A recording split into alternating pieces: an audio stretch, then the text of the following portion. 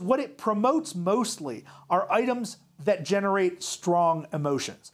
What generates strong emotions? Well, uh, content that is cute or lovely, like puppies and baby goats, but also content that is extreme, content that is angry, content that is hateful, content that feeds conspiracy theories.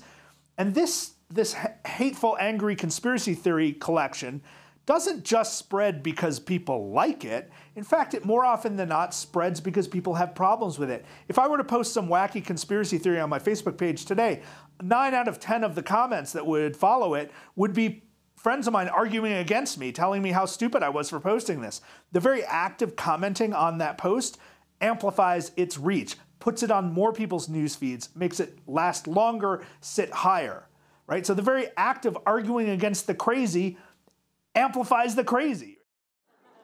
There's a ton of news right now. A lot is going on, and we have all these 24 hour news networks. And we could be covering everything, but instead we're covering like three topics.